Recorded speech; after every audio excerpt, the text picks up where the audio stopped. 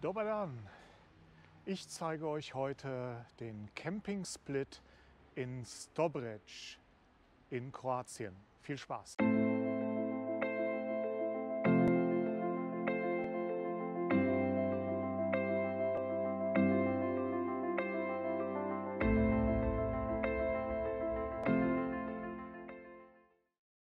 Camping Split.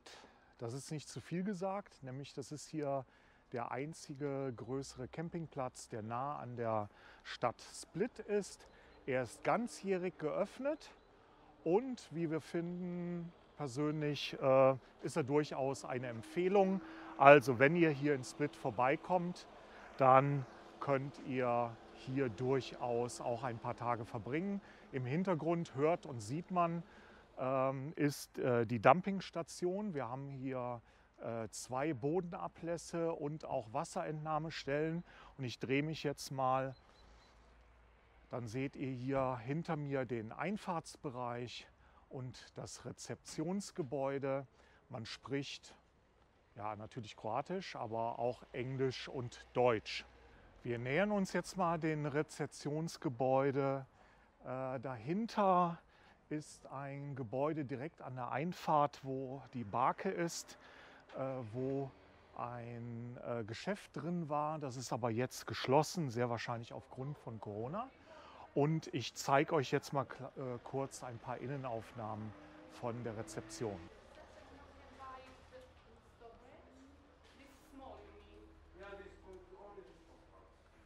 Ja, es gibt hier so einen kleinen Wartebereich.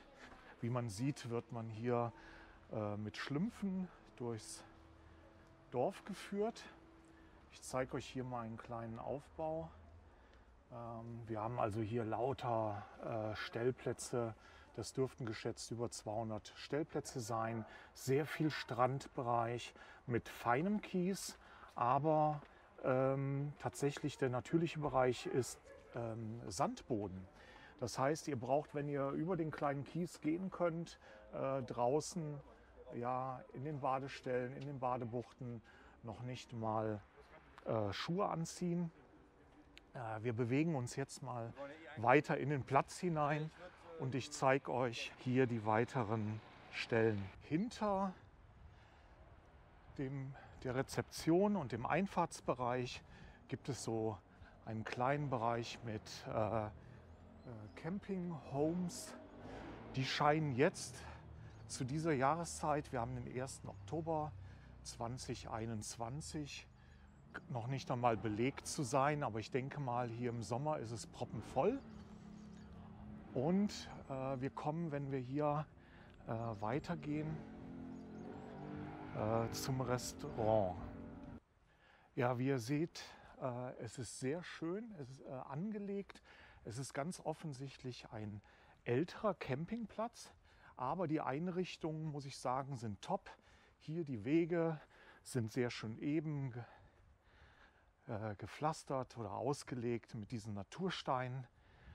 Und jetzt im Hintergrund äh, könnt ihr dann schon die Adria kennen. Also es ist ein ganz toller Baum- und auch Strauchbewuchs. Die Bäume sind noch nicht mal hinderlich auf den Plätzen. Also man kann immer äh, gute Möglichkeiten als Stellplatz finden. Wir sind also hier so etwas im nördlichen Bereich des Campingplatzes. Ich schwenke hier mal etwas schneller rüber. Man hat hier unten auch eine kleine Bar und man hat hier auch die Möglichkeit, sowohl Tretboote als auch äh, Subboards sich auszuleihen. Ähm, also man hat hier sehr viele Möglichkeiten, seine Freizeit zu verbringen.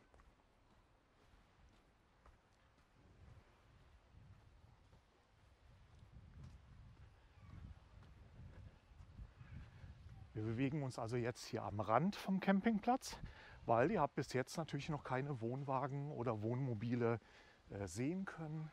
Aber hier nochmal einen wunderbaren Blick raus auf die Bucht. Das ist eben eine der Teilbuchten.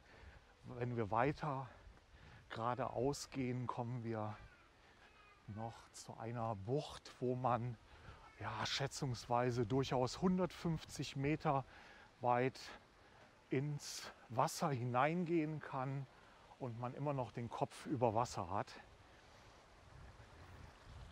So, hier ist der, das sehr schön angelegte Restaurant, genannt Horus, also auf Lateinisch die Stunde. Und man hat hier sehr viele Sitzplätze, hier sehr schön an der Seite, wo man den Sonnenuntergang dann beobachten kann. Und dann noch einen größeren Essens- und auch Barbereich. Also jetzt sind wir so ziemlich zur Mittagsstunde. Da schwingt da mal etwas weg. Hier kommen wir den Barbereich, also wo man wunderbar sitzen kann. Man hat viel Aussicht. Hier die Bar ist jetzt natürlich nicht besetzt in diesem Moment. Ich zeige euch das jetzt hier nochmal von dem anderen Restaurantteil aus. Äh, wir haben hier ein paar Mal gegessen. Sehr zu empfehlen sind die Salate, meiner Meinung nach. Die sind herrlich angemacht, sehr gute Qualität. Und ja, äh, die Salate und das Fleisch sind allerdings nur nachmittags ab 16 Uhr erhältlich. Man hat ebenso Burger und äh, äh, Pizzen. Aber das scheint an nahezu vielen Orten leider die Standardspeise zu sein. Im Eingangsbereich des Restaurants befindet sich so ein kleiner künstlicher Bachlauf.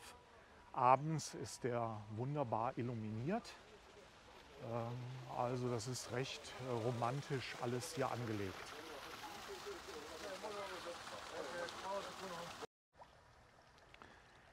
Es gibt insgesamt auf dem Gelände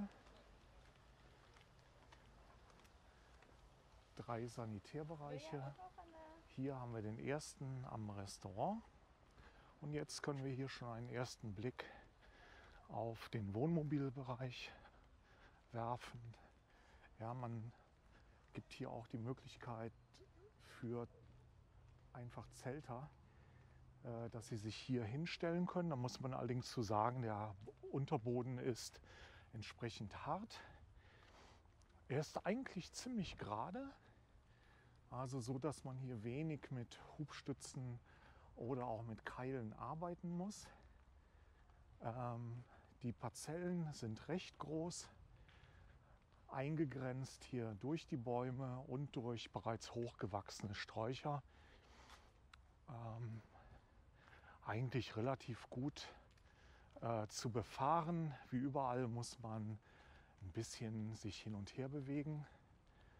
Können hier mal so einen Blick werfen auf einen großen Platz, die Nummer 123. Und wir haben am Platz sowohl Strom natürlich und Wasserentnahme, aber ihr habt hier auch die Möglichkeit, äh, tatsächlich zu dampen und äh, hier das Schwarzwasser auch äh, zu entleeren. Was mich immer wieder an Split fasziniert, ist, dass wir hier ähm, auch äh, Palmen finden. Äh, das macht so ein gewisses mediterrane Feeling. Für die Camper, die also auch länger als einen Tag da bleiben, äh, gibt es so Armbänder. Und wenn man die Armbänder hat, dann darf man hier auch in so einen äh, Poolbereich rein, beziehungsweise man muss ihn dann sehr wahrscheinlich, wenn man nur eine Nacht hier ist, ähm, separat buchen. Und ihr seht hier ähm, schöne breite ähm, Strandbereiche. Und dort hinten kann man schon sehen, wie weit der Mann äh, da noch rausgeht. Das sind also locker 50 Meter und der ist gerade mal bis zu seinem Gesäß überhaupt im Wasser. Hier gibt es eine riesengroße Kolonie an Seemöwen, die immer hier vorgelagert vor dieser Bucht äh, sich ausruhen. So, und wenn wir hier nochmal rüberschwenken, sehen wir nochmal dort einen Poolbereich. Das Interessante ist, dass man dort mit den Stühlen im Schwimmbecken sitzen kann, um dort sein Aperitif äh, zu genießen.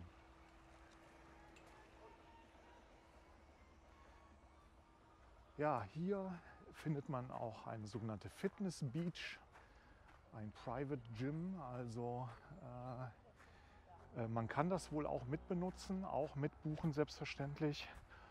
Und ich habe hier allerdings äh, selten Leute gesehen. Gut, vielleicht liegt es ein bisschen an der Jahreszeit, keine Ahnung. Es kommen hier offensichtlich hauptsächlich Einheimische hin. Und, und das finden wir ganz toll, es gibt hier einen Dog Beach.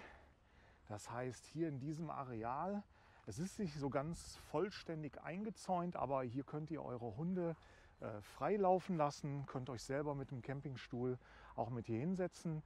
Im Hintergrund ähm, seht ihr vielleicht eine Hundedusche. Äh, hier vorne kann man ein bisschen was mit den Hunden äh, machen und sie trainieren. Das ist eigentlich sehr schön ähm, angelegt. Es gibt genauso eine Müllstation für die äh, Kotbeutel. Und hier neben ist noch ein kleines Beachvolleyballfeld. Da muss man dann allerdings sehr exakt und vorsichtig spielen, damit einem der Ball nicht ständig aus dem Feld fliegt. Feld fliegt. Wie gesagt, wir haben den 1. Oktober und wir haben hier tagsüber immer noch 27 Grad etwa. Aber das ist herrlich. Das ist für uns, die wir noch nicht so gut vorgebräumt sind, gut auszuhalten. Die Sonne steht natürlich ein wenig tiefer. So, und ich zeige euch jetzt noch mal ähm, eins dieser Sanitärgebäude. Das ist dann hier das dritte am anderen Ende äh, des Platzes.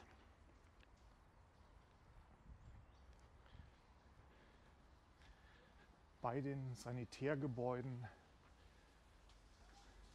befinden sich auch die Müllstationen. Gut, die obligatorischen äh, Spülbecken sind hier. Jetzt müssen wir mal gucken, ob wir hier reingehen, dass wir niemanden stören.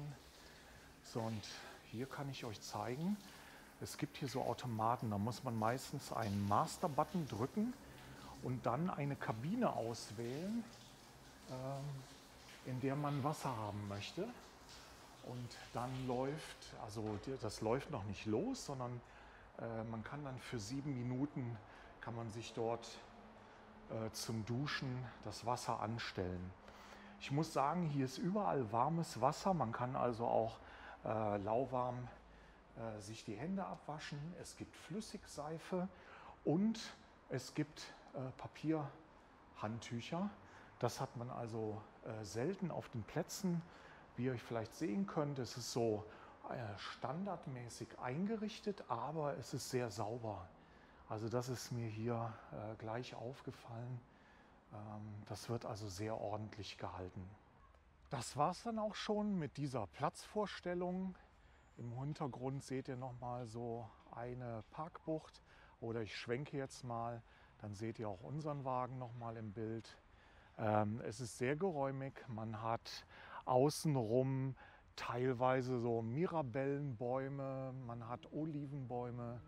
Ähm, das Einzige, was jetzt hier in diesem hinteren Teil des Platzes der Fall ist, man hört ein wenig ähm, äh, die Schnellstraße. Aber ich muss sagen, das ist auszuhalten. Äh, ich denke, auch zu Hause wohnt nicht jeder äh, straßenfrei und man hört äh, im Hintergrund sicher auch dort äh, Bundesstraßen. Das ist auszuhalten. Nachts ist es ähm, relativ ruhig, wenn nicht gerade mal wieder ein Motorrad vorbeibrettert. Ich hoffe, diese kleine Platzvorstellung hat euch äh, gefallen. Wenn es so ist, lasst mir einen Daumen hoch da oder auch über ein Abonnement würden wir uns immer noch freuen. Ich bedanke mich sehr herzlich, äh, sage auf Wiedersehen, Servus aus Split in Kroatien. Bis demnächst. Ciao.